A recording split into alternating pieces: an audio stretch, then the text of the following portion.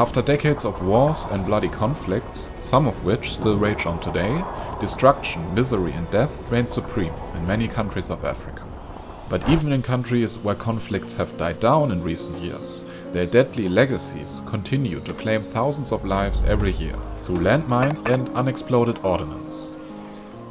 In Africa alone, they have killed or maimed over 8,000 people in 2016. Globally, it were between 10,000 and 20,000 casualties. Roughly 50% of them were children. It is estimated that there are currently over 55 million landmines and other explosives in over 84 countries around the world, rendering 1.3 million acres of land useless. What's more, their removal is time consuming, difficult and expensive. While one mine only costs between 3 and 30 dollars, the cost of removing it is with 300 to 1000 dollars up to 300 times more expensive, depending on the method. There are a few possible methods to use. Special armored demining vehicles or other high-tech tools, such as ground-penetrating radar. Dogs that can be trained to sniff the presence of explosives, and the most common method, manual clearance, with handheld metal detectors, but there's a downside to everything. High-end tools are very expensive and therefore typically only used by the military. Dogs are prone to tropical diseases and their weight can easily set off a landmine. In addition, they are also fairly expensive.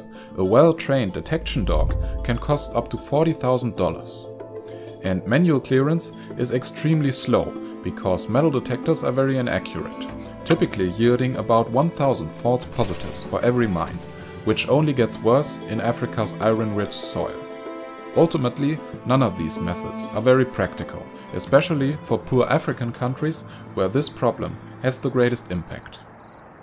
As a result of this, in many of the affected areas agricultural activities have been brought to a total halt, and the delivery of health services, humanitarian aid and road construction are hampered, which in turn made millions of people refugees. But there's hope in form of the most unlikely creature imaginable, a rat. For almost 20 years now, African giant pouched rats are being trained by the Belgian aid organization Apopo in their Tanzanian-based headquarters and training facilities, and with great success. The main goal of the project was to develop a tool that would allow the people in these countries to address this life-threatening problem more independently, using resources they have at hand. The African giant pouched rat was ideal for a multitude of reasons. First, this rat species, endemic to sub-Saharan Africa, is very common and even considered a pest in many regions. Second, they are very small, not necessarily compared to other rat species as they are roughly the size of a smaller house cat, but compared to dogs and humans. This means they need little food little space and most importantly, they won't set off active landmines by themselves.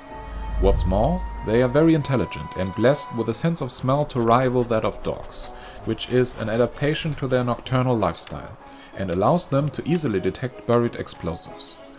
The only downside to this is that they are very susceptible to sunburn, making it necessary to keep their ears and tails slathered with sunblock. But most importantly, they are easily conditioned, once they know doing a specific task will get them a tasty piece of banana, they love to repeat it as long as you reward them. All of that makes them perfectly suited for detecting mines, and they are fast as well. They can each search 200 square meters of land in just under 20 minutes. A person using a metal detector would take up to 5 days for that. Their training is by no means easy, however. It usually takes 9 months and around $5,000 in total costs, including staff salaries, for a single rat to become an official hero rat. First, the rats need to be trained to differentiate between the smell of explosives and other smells, by rewarding them every time the correct sample is identified. In the next stage of their training, they then have to prove their mine-sniffing capabilities in the field. For that, Apopo established the most extensive training minefield in Africa that allows them to train the rats in near to real conditions. Here, the rats have to put their noses to the test in a series of courses, week after week. Led on a leash, they have to systematically move up and down each course and indicate where the pre-planted mines are buried.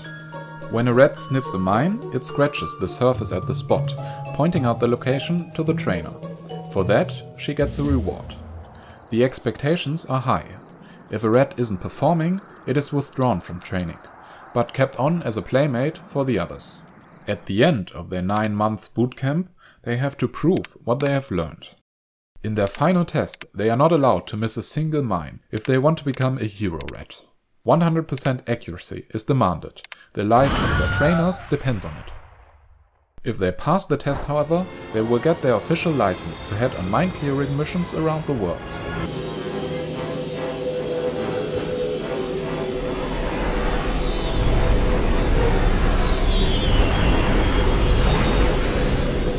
All wings report in. Red 10 standing by. Red 7, standing by. Red 3 standing by. Red 6 standing by. Red 9, standing by. Red 2 standing by. Red 11, standing by.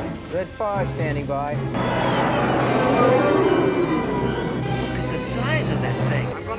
Across the axis and try and draw their fire.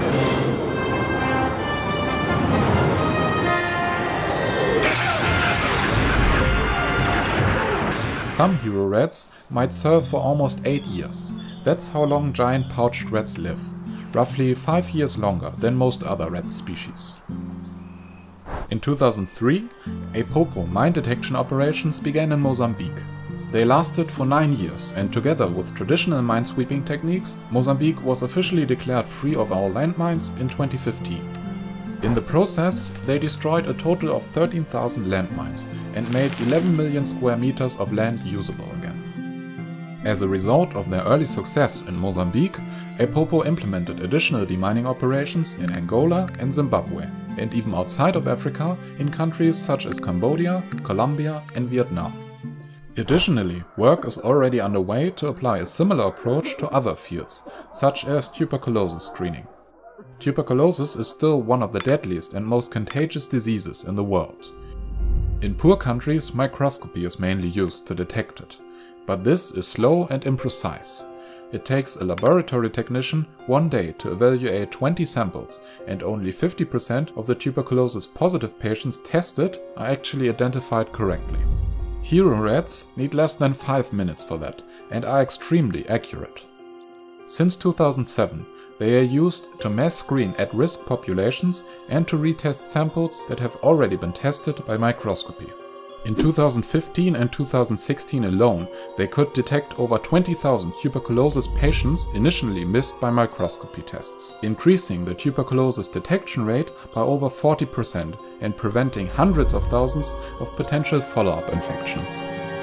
All of this makes Hero Rats, a title which was originally only designed as a creative marketing and fundraising campaign, to true heroes in every sense of the word, and everyone involved in the project as well.